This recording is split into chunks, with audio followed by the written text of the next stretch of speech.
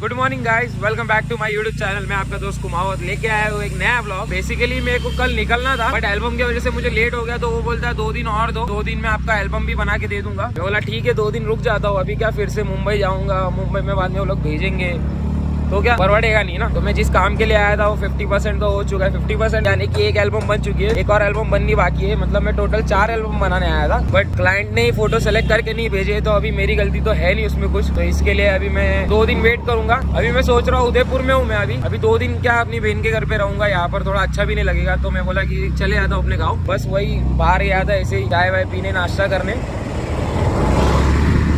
आपको तो मालूम ही है कि हम लोग सुबह सुबह नाश्ता तो लगता ही है। अगर मैं इडली मेंदोड़ा ढूंढ रहा था बट मुझे मिला नहीं। जीजू बोल रहे थे कि यहाँ पर उड़ीपी टू मुंबई है, वहाँ पर इडली मेंदोड़ा मिल जाएगा बट अभी अभी कैसा साढ़े दस बज गया है और टाइम नहीं है। ग्यारह बजे तक निकलूँगा तो पहले भी तीन घंटे में पहुँचा था, वाया वाया करके नाथवारा नाथवारा से बाद में गाँव में। अभी मैं सोच रहा हूँ कि डायरेक्ट रोड रेज बस पकड़ू और डायरेक्टली कांकरोली उतरू। बट मैं जो सोचता हूँ कभी होता नहीं है। तो इसके लिए लेट सी जो भी होएगा वो मैं दिखा रहा हूँ, बस। कुछ प्लान नहीं है। जो प्लान करता हूँ, वो प्लान के मुताबिक होता नहीं है कभी। मैं निकल पड़ा हूँ अपने गाँव के लिए। पहले तो मुझे जीजू ने मतलब पहली बार जब गया था, जीजू ने बस स्टैंड पे बस स्टैंड पे छोड़ दिया था। बट अभी मैं जा रहा हूँ।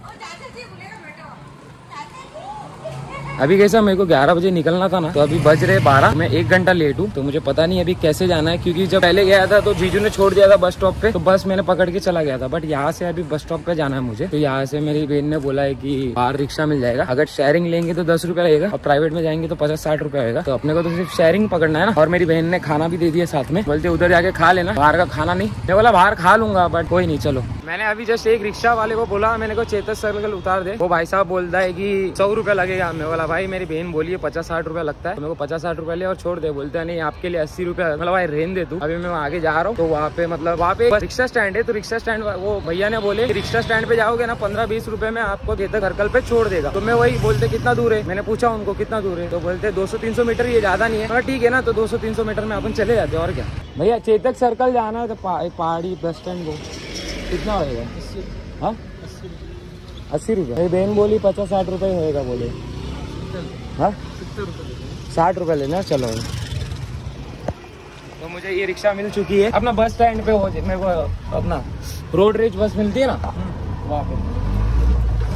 सोच रहा था कि शेयरिंग रिक्शा से चले जाऊँ मगर नहीं। मुझे नहीं जम रहा था तो मैं बोला जल्दी है ऑटो पकड़ के डायरेक्ट चेतक रिक्शा ही जाता हूँ। चेतक रिक्शा नहीं चेतक सर्कल जहाँ पर बस स्टैंड है वहाँ से हम निकल जाएँगे गाँव के लिए। उदयपुर में मतलब एक सुकून ही है अलग ही सुकून है। अरे आजकल बहुत काम खराब हो गया पहले जैसे नहीं हाँ?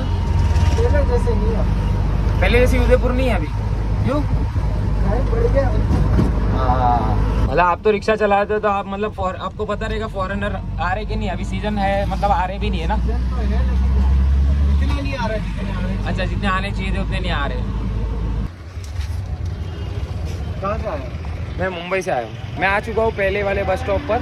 तो यहाँ पर दो तीन बस खड़ी है, सबको पूछता हूँ, कांकरोली कौन सी जाएगी? जो कांकरोली जाएगी उसके अंदर बैठ जाऊँगा। और भैया थैंक यू सो मच मेरे को छोड़ने के लिए यहाँ पे। थैंक यू चलो। हाँ तेली मैं हर बार भूल जाता हूँ हर एक सामान को जो भी। आज मेरा नसीब इतना अच्छा है कि आज पहले बार ही डायरेक्ट वाली बस मिली। भैया को पहले पूछ लिया, कांकरोली जाएगी कि नहीं? नहीं तो बाद में वो भी मेरे को नाथवारा उतार देंगे। बाद में सामने बस है कांकरोली वाली, उसमें चले जा। तो इसके लिए पहले मैंने अभी पूछ लिया, कांकरोली डायरेक्ट जाएगी कि नहीं? तो अपन अभी डायरेक्ट कांकरोली उतर जाएँगे बीच में नातवारा, वातवारा की इधर उतरने की ज़रूरत नहीं.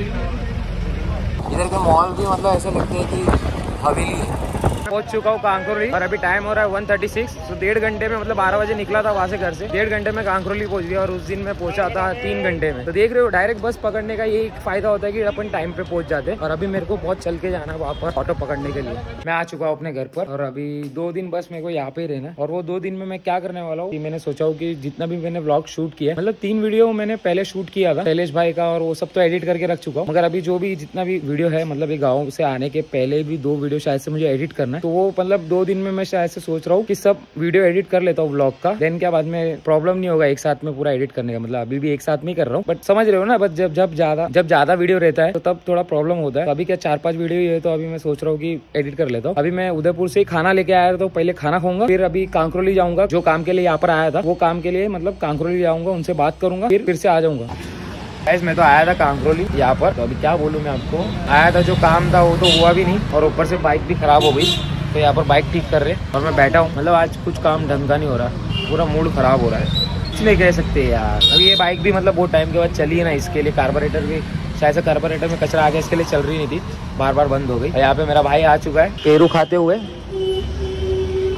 अभी पेरू लेके आया तो पेरू खाते थोड़ा बहुत। गाड़ी बन चुकी है और एकदम मक्खन चल रही है अभी। प्रॉब्लम सिर्फ़ वही था कि कार्बोरेटर में कचरा फंस गया था। मुझे तो लगा कि 200 300 400 रुपए तो लेगा सा कार्बोरेटर साफ़ करने का। मैंने उसको पूछा भाई कितना हुआ? बोलता साठ रुपया। राजस्थान भाई राजस्थान में आओ तो राजस्थान बहुत सस्ता है। उसने जैसे ही साठ रुपया बोला ना तो मेरा दिल खुश हो गया। हाँ। आ रही। या या। या चौक ऊपर कर रही तो सालू भेजी तो सालू कर रही तो अपने आप नीचे भेजी आपको बताया ये मेरी गाड़ी का थोड़ा प्रॉब्लम चालू था। उधर से मैं गाड़ी मतलब कार्बोरेटर साफ़ भी कराया। उधर बैठ के बट अभी फिर से खराब हो गई। आराम रहो आराम रहो आराम रहो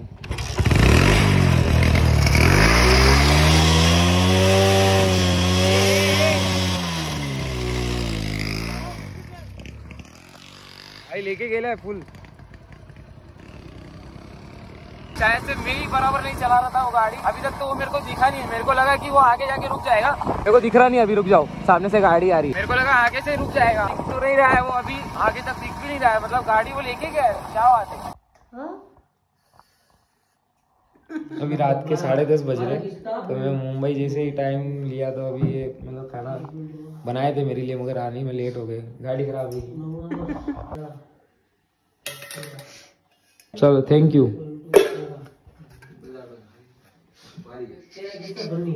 उसने इतने प्यार से खाना बनाया था तो मैं बोला ले लेता हूँ साथ में। बट उसको नींद आ गई थी। अभी गाँव में कैसा आठ बजे ही सो जाते ना अभी उसकी आधी नींद थी। तो भी आए हमारे लिए। चलो जैसा। हम्म। चलो। तो दीदी ने मेरे लिए खिचड़ी बनाई थी मेरे कहने पर। बट मुझे जाते जाते लेट हो गया और मुझे दूध भी दिया है तो बोलती रात को चाय वाय पी लेना। मतलब मेरे को चाय लगती है रात को इसके लिए। सब है ना इसके वजह से लेट हुआ है पूरा। मैं चार बजे से बोलता चार बजे आ रहा हूँ। चार बजे से मतलब आया कितना बजे? साढ़े आठ बजे। मेरे को तो अच्छा नहीं लग रहा था, साढ़े दस बज गए थे बट कैसा है ना कि कुछ वेस्ट हो जाता तो मैं बोला, चल ठीक है। हम लोगों ने बाहर से भी लाया, घर का भी है, दोनों खाना खाते। खाना खाने के बाद बाद में मैं जाऊँगा एडिट करने के लिए। ये भी भाई अपने वाली से लगे हुए बस अभी के लिए इतना ही। वो तो पता ही है अभी क्या करना है। लाइक शेयर और सब्सक्राइब कर देना प्लीज़ और कुछ नहीं, बस। अभी मिलता हूँ नेक्स्ट ब्लॉग पर। जो भी होएगा, कल वो मैं कल देखता हूँ। कल भी ब्लॉग शूट करूँगा। मतलब अभी धीरे धीरे आदत डाल रहा हूँ डेली डेली पॉजिटिव रहू, बस। मिलते नेक्स्ट ब्लॉग पर। खाता हूँ, खाली बैठ के डका रही है।